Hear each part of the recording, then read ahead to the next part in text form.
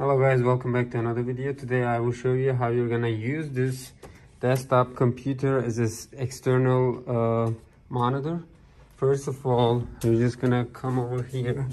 As you see that's the output and this is the input and there's a button over there small right there.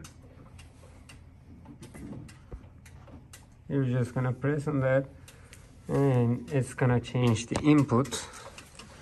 As you see you can either do it as you see you can change the input. And you can use it as a second screen. That's it. Thank you